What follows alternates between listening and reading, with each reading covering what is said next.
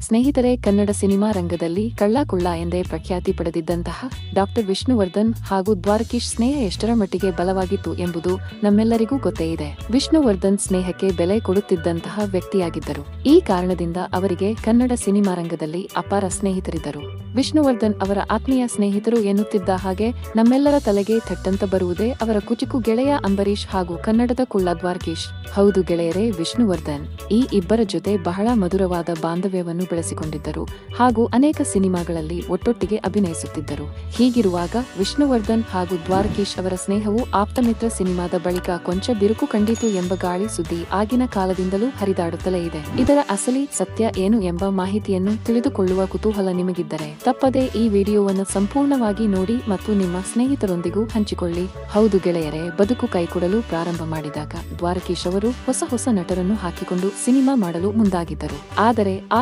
ಸಿನಿಮಾಗಳೆಲ್ಲವೂ ಸೋತು ನೆಲಕಚ್ಚುತ್ತಿತ್ತು. ಹೀಗೆ ನಿರ್ಮಾಣ ಹಾಗೂ ನಟನೆ ಎರಡರಲ್ಲಿಯೂ ಸೋಲನ್ನು ಅನುಭವಿಸುತ್ತಿದ್ದಂತಹ ದ್ವಾರಕೀಶ್ ಅವರು ತಮ್ಮ ಹತ್ತಿರ ಇದ್ದಂತಹ ಆಸ್ತಿಯನ್ನೆಲ್ಲ ಕಳೆದುಕೊಳ್ಳುತ್ತಾರೆ. ಅಷ್ಟೇ ಅಲ್ಲದೆ ಮನೆಯನ್ನು ಸಹ ಮಾರಿಬಿಡುತ್ತಾರೆ. ಸಿನಿಮಾ ಮಾಡುವುದಕ್ಕಾಗಿ ತಾವು ಮಾಡಿದಂತಹ ಸಾಲ ತೀರಿಸಲಾಗದೆ ದ್ವಾರಕೀಶ್ ಅವರು ಬೀದಿಗೆ ಬಂದು ಬಿಡುತ್ತಾರೆ ಆ ಸಂದರ್ಭದಲ್ಲಿ ಈ ಒಂದು ಮಾಹಿತಿ ವಿಷ್ಣುವರ್ಧನ್ ಅವರ ಕಿವಿಗೆ ಬಿದ್ದು ನನ್ನ ಸ್ನೇಹಿತನಿಗೆ ಏನಾದರೂ ಸಹಾಯ ಮಾಡಬೇಕೆಂದು ವಿಷ್ಣುವರ್ಧನ್ ಮುಂದಾದಾಗ ದ್ವಾರಕೀಶ್ ವಿಷ್ಣುವರ್ಧನ್ ರವರಿಂದ ಒಂದೇ ಒಂದು ರೂಪಾಯಿಯನ್ನು ಸಹ ತೆಗೆದುಕೊಳ್ಳುವುದಿಲ್ಲ.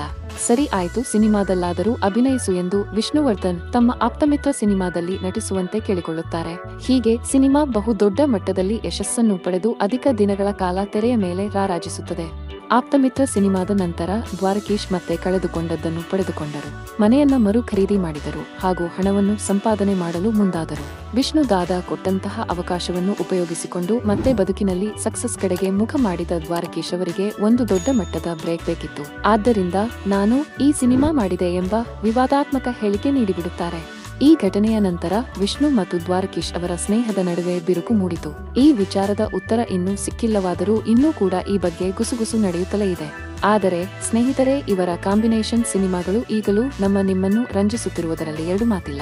ಅಂತಹ ಹಿಟ್ ಜೋಡಿ ಇವರ ಚಿತ್ರಗಳಾಗಿದ್ದವು. ಆಗಿನ ಕಾಲದಲ್ಲೇ ಸೂಪರ್ ಡೂಪರ್ ಹಿಟ್ ಆಗುತ್ತಿದ್ದವು.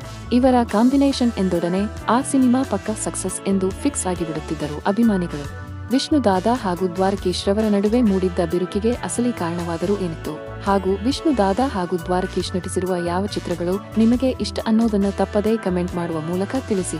ಇದೇ ರೀತಿಯ ಸ್ಟಾಕ್ಗಳ ಇಂಟ್ರೆಸ್ಟಿಂಗ್ ಮಾಹಿತಿಗಳನ್ನು ತಿಳಿದುಕೊಳ್ಳೋಕೆ ತಪ್ಪದೇ ನಮ್ಮ ಚಾನೆಲ್ನ ಸಬ್ಸ್ಕ್ರೈಬ್ ಮಾಡೋದನ್ನು ಮರಿಬೇಡಿ.